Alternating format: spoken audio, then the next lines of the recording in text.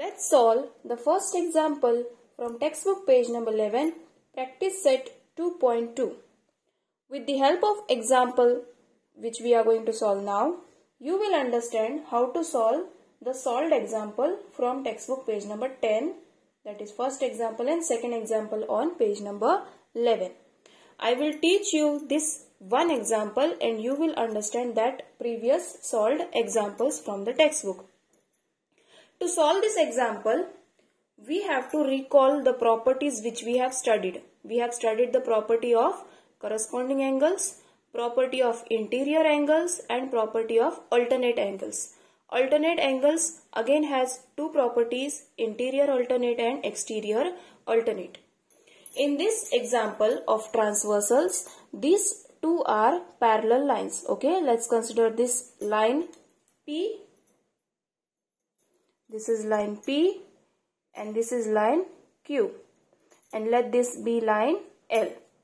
These are the two parallel lines parallel line P with Q and L is the line which is transversal to parallel lines P and Q.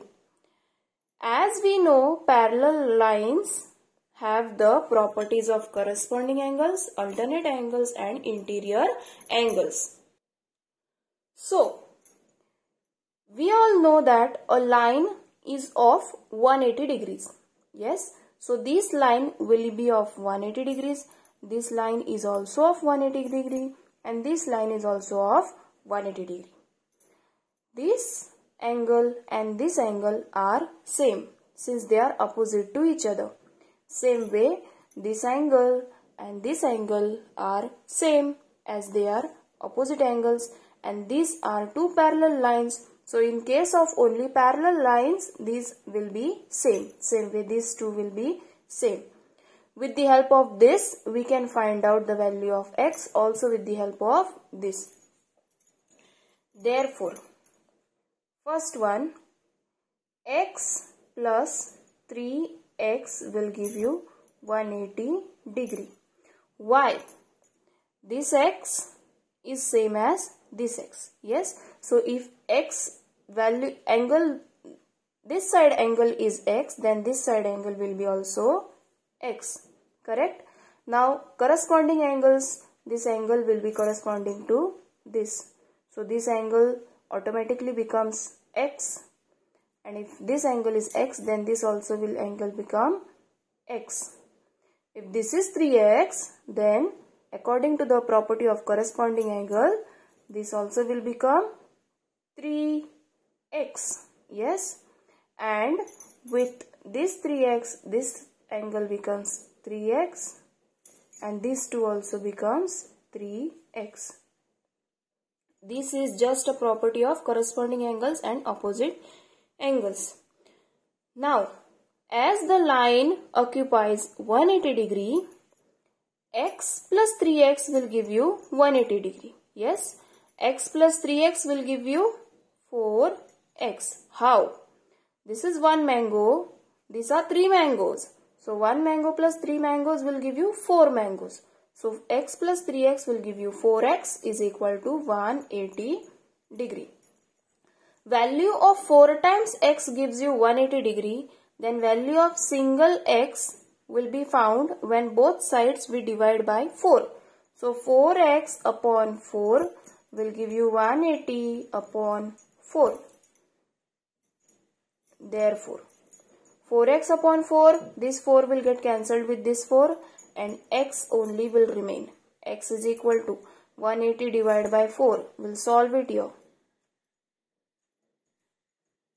4, 4 is 16, correct? 18 minus 16 will give you 2. This 0 will come down. 2 becomes 20. 4, 5 are 20. 0. So 4 into 45 will give you 180. So your value of x is 45.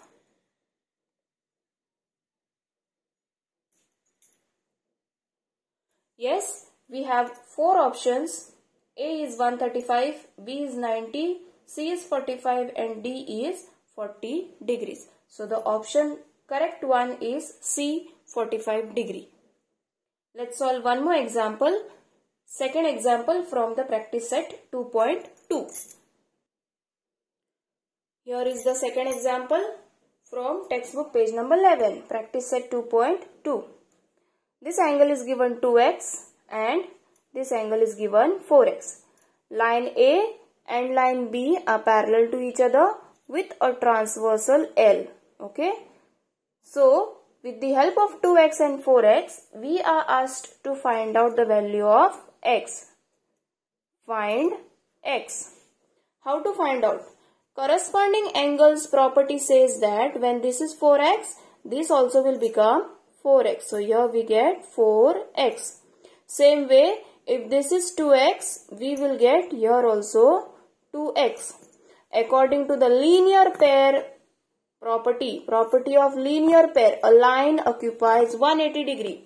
So when it is 180 degree, this angle and this angle when added will give you compulsorily 180 degree. Now 180 degree is split into two angles. One is 4x and another one is 2x. Therefore, finally, 4x plus 2x will give you 180 degrees. 4x plus 2x is equal to 6x. Same way, 4 mangoes plus 2 mangoes will give you 6 mangoes is equal to 180 degree. When dividing x is equal to 180 divided by this 6 will go to the numerator of the right hand side. It will come down is equal to 6 ones are 6 into 30. 6 threes are is 18. This 0 taken it here. So x is equal to 30. Now to check whether whatever we are solving is correct or wrong, we have to verify that. 4 into x plus 2 into x we have to get 180 degree. Okay we have to check it now. 4 into x value is 30 plus 2 into x value is 30 is equal to let's check it if it is 180 degrees. Okay if it is 180 degree. 4 3 is 12 so 4 30 is 120 plus 2 3 is 6. So 2 into 30 will give you 60. This is equal to 120 plus 60 will give you 180 degrees. Yes. So whatever we have solved is correct.